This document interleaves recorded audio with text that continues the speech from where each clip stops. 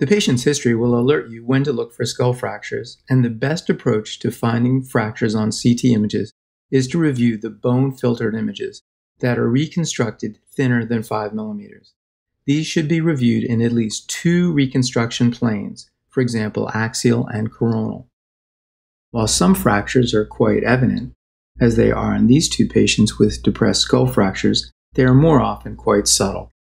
When you see a depressed skull fracture, look carefully at the underlying brain since there can be an associated contusion or subarachnoid hemorrhage, as you can see in the right image in a patient who was struck with a hammer. And you should direct your search on the images where there is evidence of soft tissue swelling overlying the skull. In this case, the soft tissue swelling will lead your eye to the fracture. Then direct your gaze to the other side of the brain, since contusions and subdural hematomas are almost always on the opposite side from the impact. When the fracture line runs in the same plane as the reconstruction, it can be very difficult for the imager to perceive the fracture. For example, this fracture is at the limit of perception on axial views in this trauma patient, but it is quite evident on the sagittal reconstruction of the same data. Fractures can be differentiated from sutures in most cases, generally by their straight course and sharp margins. For example, the blue arrows point to the sutures in this child, but the yellow arrow indicates a skull fracture. In the setting of trauma, whenever you see fluid in the middle ear on CT, you should search for an associated skull base fracture on the same side. While the fracture, in this case, is faintly visible on the axial scan, it's much more evident on the thin reconstructions seen in the coronal plane. As with all suspected fractures, it will be more evident if you arrange to have the images reconstructed in these thin sections.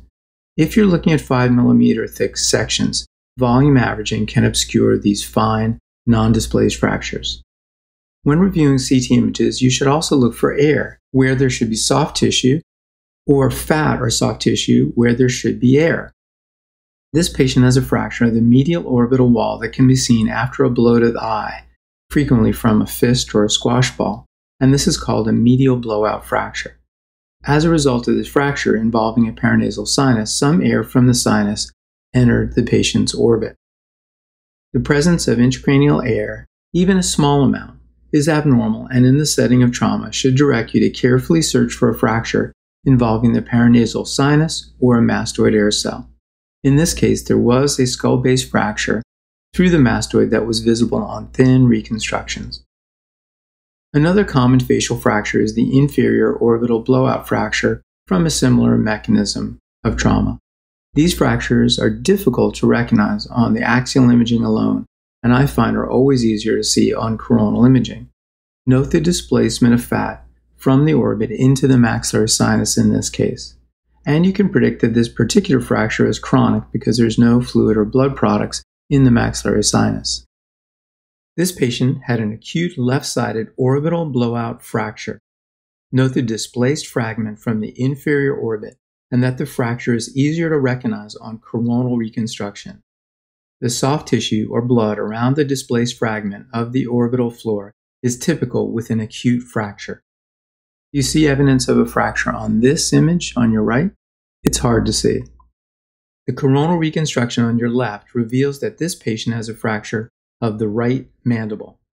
That resulted in dislocation of the same side mandibular condyle that is displaced out of the condylar fossa at the skull base. That finding is frequently missed on the axial image. An unusual location of the mandibular condyle is a sign of a possible mandibular fracture, so look for this sign on CT scans in trauma patients. The fracture of the medial occipital condyle is another fracture that's commonly missed but important to look for since it implies an injury to the stabilizing ligaments, this case the alar ligament, that can lead to late instability. Your chances of identifying a skull fracture will be improved by optimizing the way you review the CT scan images in trauma patients. Take the time to review bone filtered images, and rather than use coronal imaging only when you have a question on the axial imaging, review them with the same attention you devoted to the axial views. That's because many traumatic skull and facial fractures can only be perceived when viewed in the coronal plane. So I hope you liked this video.